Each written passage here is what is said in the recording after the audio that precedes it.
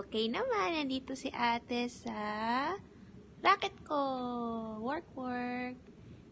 Canada.